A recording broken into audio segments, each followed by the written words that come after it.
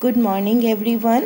In the chain of my lectures on organometallic compounds, this is my second lecture and I'll discuss the chemical reactions of Grignard reagent अर्थात ग्रिग्नड अभिकर्मक की रासायनिक अभिक्रियाएं जैसा कि हमने अपने पिछले लेक्चर में पढ़ा था कि जो ग्रिग्नट रिएजेंट है, ये अत्यंत क्रियाशील यौगिक है। These are highly reactive compounds इनकी अत्यधिक क्रियाशीलता के कारण ही इनका संश्लेषण शुष्क ईथर माध्यम में किया जाता है। We prepare them in dry ether medium क्योंकि ये वातावरण की जो नमी है या वाटर वेपर्स के साथ भी क्रिया करके डिकम्पोज हो जाते हैं।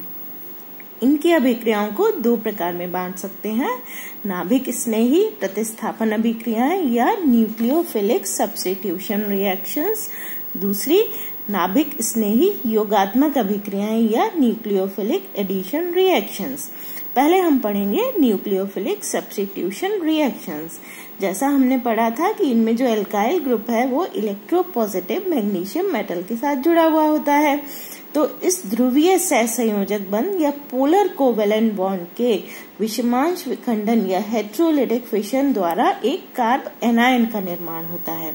और ये नेगेटिवली चार्ज कार्ब एनायन किसी भी नाभिक स्नेही या न्यूक्लियोफाइल से जुड़ सकता है। अतः जो ग्रिग्नर रिएजेंट है, ये सक्रिय हाइड्रोजन युक्त या हेलोजन युक्त यौगिकों के साथ न्यूक्लियोफिलिक रिएक्शंस देते हैं। अब हमको समझना होगा कि what are active hydrogen compounds या सक्रिय हाइड्रोजन युक्त यौगिक क्या होते हैं? Active hydrogen is that atom of hydrogen which is attached with more electronegative atom for example oxygen nitrogen और सल्फ़र अर्थात एक्टिव हाइड्रोजन युक्त परमाणु युक्त जो यौगिक होते हैं, वो वह यौगिक होते हैं जिसमें कि हाइड्रोजन एटम किसके साथ अटैच होता है? अधिक ऋण विद्युती परमाणु के साथ अटैच होता है। उदाहरण के लिए ऑक्सीजन नाइट्रोजन और सल्फ़र जिसके कारण क्या हो जाते हैं? ये हाईली पोलर हो जाते हैं, ध्रुवीय हो जाते हैं और इसके कारण बहुत अस्थायी और बहुत अधिक क्रियाशील हो जाते हैं। दिकम they become too unstable and highly reactive और इसके कारण क्या होता है कि रासायनिक अभिक्रियाओं में ये एक प्रोटॉन के रूप में पृथक होते हैं। They leave as a proton during chemical reaction इनको हम कॉमनली एसिडिक हाइड्रोजन भी कहते हैं।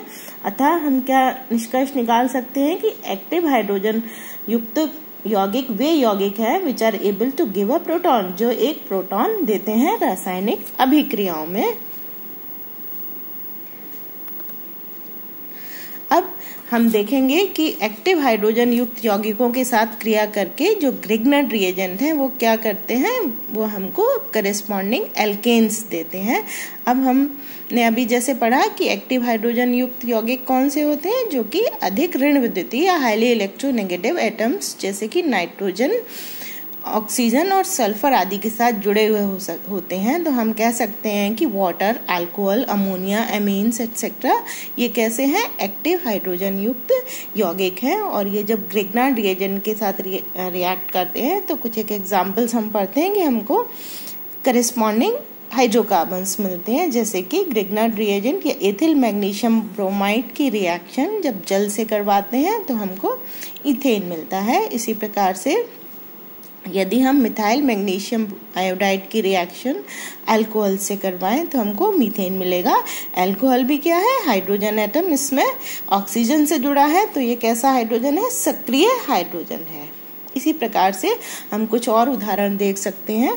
जैसे इथिल मैग्नीशियम ब्रोमाइड की रिएक्शन यदि अमोनिया से कराएँ तो अमोनिया भी कैसा यौगिक है? एक्टिव हाइड्रोजन युक्त यौगिक है तो हमको इथेन मिलता है। इसी प्रकार से प्राइमरी और सेकेंडरी अमीन्स के साथ भी क्रिया करके हमको करेस्पॉन्डिंग हाइड्रोकार्बन्स प्राप्त होते हैं। For example ethyl magnesium iodide की रिएक्शन यदि हम प्राइमरी अमीन से करवाएँ तो इथेन मिलेगा। इसी प्रकार से मिथिल मैग्नीशियम आयोडाइड की क्रिया यदि हम सेकेंडरी अमीन के साथ कराएँ, इसमें भी क्या है? एक एक्टिव हाइड्रोजन एटम उपस्थित है तो हमको मीथेन प्राप्त होता है।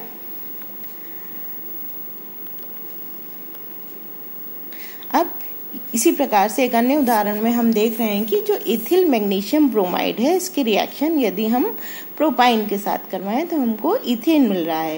यहाँ पर एक बात इंपॉर्टेंट है कि ग्रिग्नार्ड रिएजन एसिटिलीन अथवा किसी वन एल्काइन के साथ तो क्रिया करते हैं, क्योंकि हम जानते हैं कि इनका जो हाइड्रोजन परमाणु है वो कैसा है। एक्टिव हाइड्रोजन परमाणु है, लेकिन एल्कीन्स के साथ अभिक्रिया नहीं करते ये, क्योंकि एल्कीन्स का हम जानते हैं कि जो हाइड्रोजन परमाणु है वो एक्टिव हाइड्रोजन परमाणु नहीं होता। अब यदि किसी अनसेचुरेटेड एल्किल हेलाइट के साथ ग्रिग्नार्ड रिएजन की अभिक्रिया करवाएँ तो एक्टिव हाइड्रोजन युक्त यौगिक के साथ करवाने पर हमको अनसेचुरेटेड हाइड्रोकार्बन प्राप्त होते हैं। उदाहरण के लिए विनाइल मैग्नीशियम ब्रोमाइड की रिएक्शन यदि हम करवाएँ किसके साथ? किसी प्राइमरी अमीन के साथ करवाएँ तो हमको इथीन मिलता है।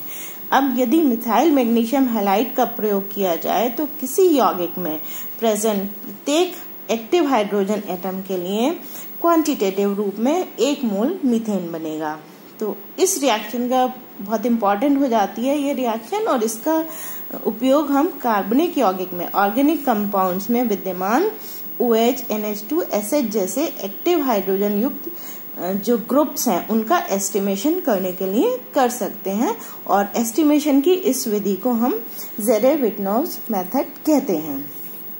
अब ये तो हुआ reaction of Grignard reagent with the compounds having active hydrogen atom अब अगला जो लेक्चर होगा, उसमें हम ग्रिग्नाड रिएजन के रिएक्शंस पढ़ेंगे with the compounds having halogen atoms thank you have a nice day